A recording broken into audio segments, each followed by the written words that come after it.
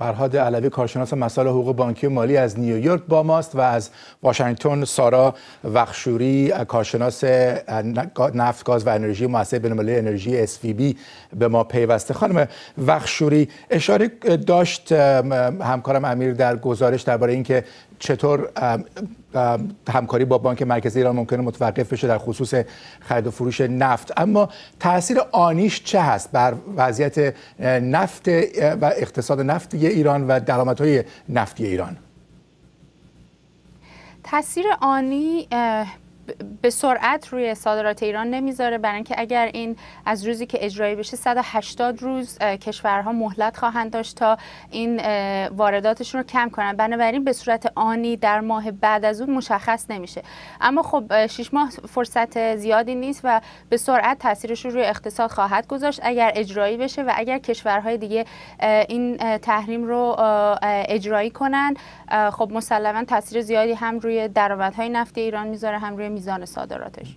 از لحاظ آنی وقتی خواستم ازتون پرسیدم منظورم این بود که در واقع پیامدهایی که ممکنه داشته باشه نه لزوما تاثیر آنیش بلکه پیامدهایی که ممکنه داشته باشه. برای مثلا سرمایه گذاری که ممکنه ناگهان در صنعت نفت ایران خشک بشه یا پروژه هایی که ممکنه ناتمام بمونه تصمیماتی که ممکنه که گرفته نشه به تعویق و بیفته.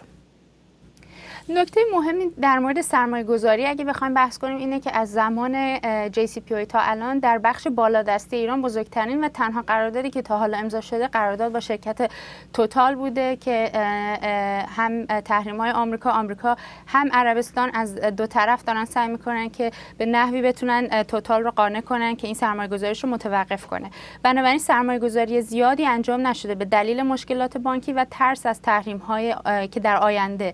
چه تحریم تحریم های هسته ای که برگرده و یا تحریم هایی که ممکنه بر, بر ضد برنامه موشکی ایران باشه که با التهاب در یمن و پرتاب موشک های هوتی به سمت عربستان این احتمال بین سرمایه گذاران قوت پیدا کرده. مخصوصا سفر آقای مکرون به آمریکا با اینکه یک خیال آسودگی آنی ایجاد کرد که شاید وقت بیشتری ایجاد کنه و تحریم های مقدار به عقب برگرده به خاطر سفر ایشون و اروپایی ها ولی در دراز مدت این نگرانی شرکت ها رو تقویت کرده که اروپا داره همگام میشه با آمریکا برای گذاشتن تحریم های احتمالی علیه برنامه موشکی ایران.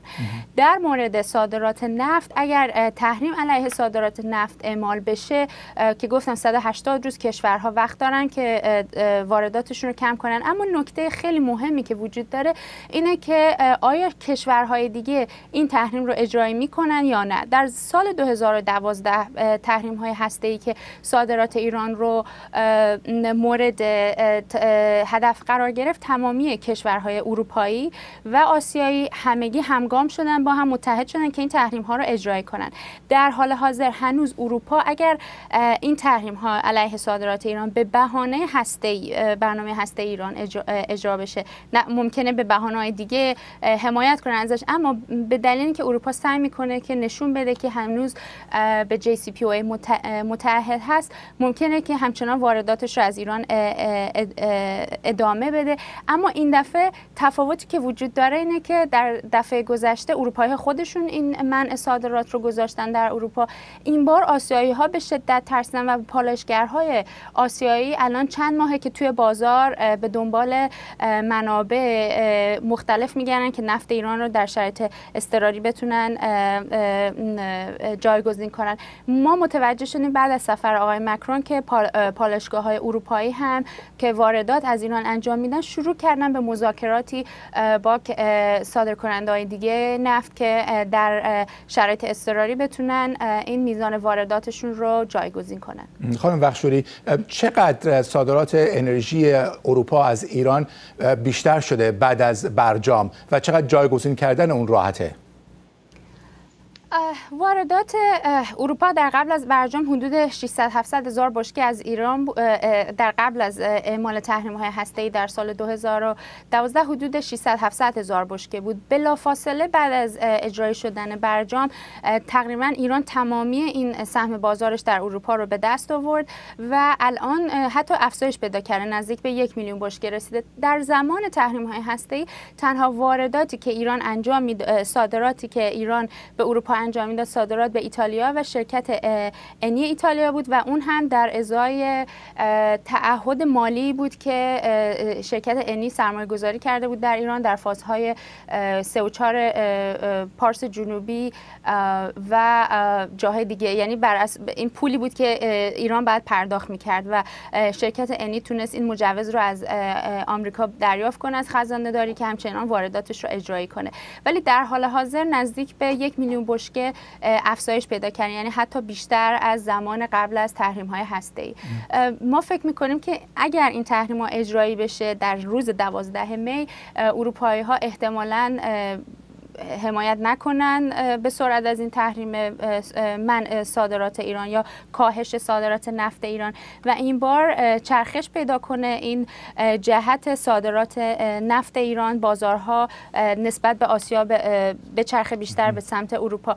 البته یه نکته مهم دیگه هم وجود داره اینه که ایران در یکی دو سال گذشته سهم بازارش رو توی آسیا نسبتا از دست داد. البته الان صادرات مخصوصا در ماه گذشته به دو دلیل افزایش پیدا کرد یک دلیل افزایش تقاضای پالشگرهای هند بود مخصوصا پالشگاه اسار بله. و دلیل دیگهش سفر آقای روحانی و اون جاذبه پیشنهاداتی که دادن که مثل حمل رایگان نفت به صحیح. کشور هند و ممنون آقای آقای علوی چقدر به نظر شما از لحاظ حقوقی دست اروپایی و آسیایی ها این بار باز هست که بگن که این بار آمریکا یک طرفه کنار کشیده برجام رو تعهدش رو داره نقض می‌کنه و در نتیجه ما موظف نیستیم که تحریم های یک جانبه آمریکا رو رعایت بکنیم اگر پای شرکت ها یا بانک های خودمون به میان کشیده بشه.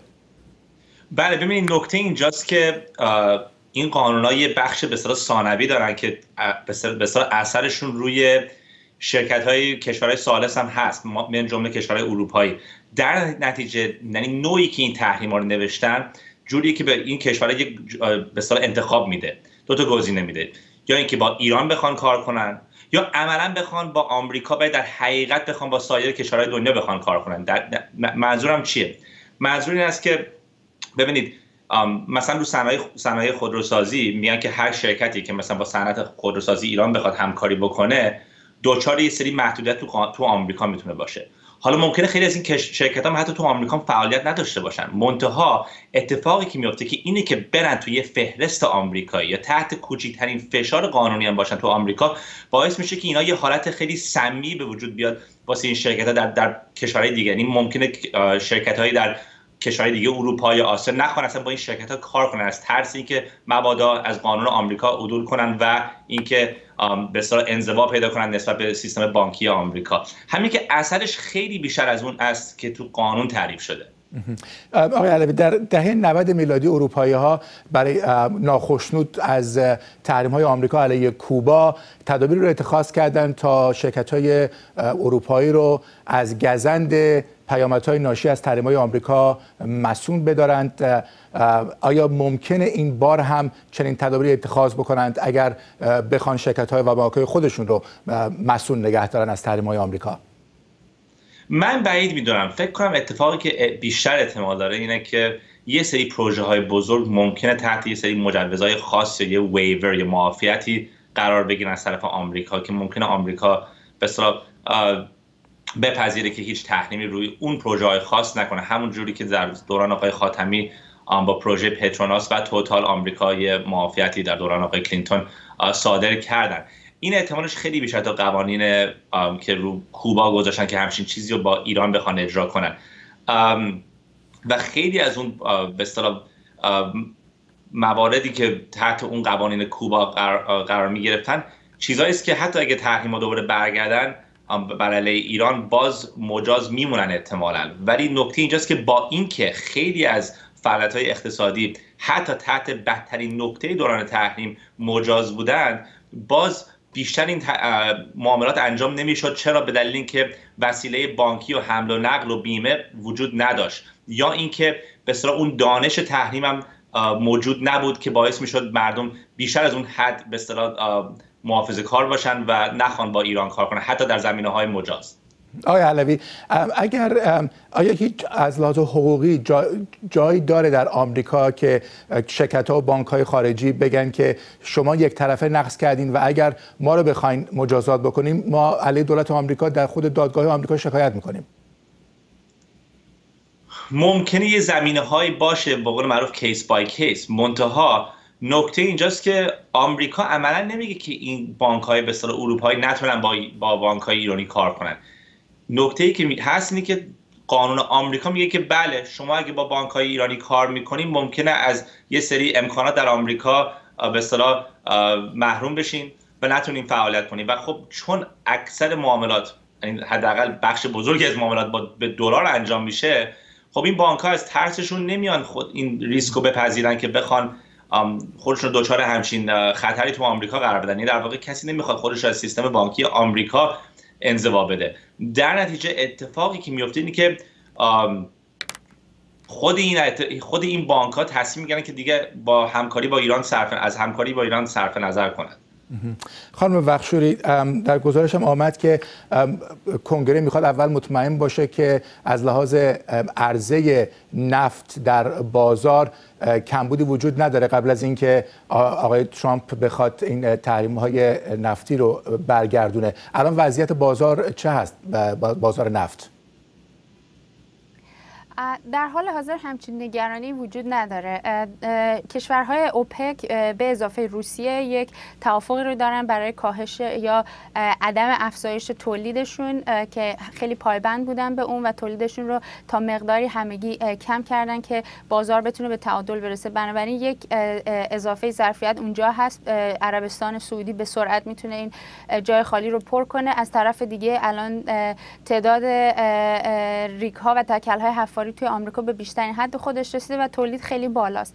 نکته که خیلی مهمه و نباید ازش گذشت این بار اینه که ایران یک بار تجربه تحریم های ایران و لیبی رو داره که کارشناس دیگه اشاره کردن و اینکه زمانی توتال اومد این تحریم ها رو شکست و گفت که ما به سرمایه گذاریمون ادامه میدیم تو ایران.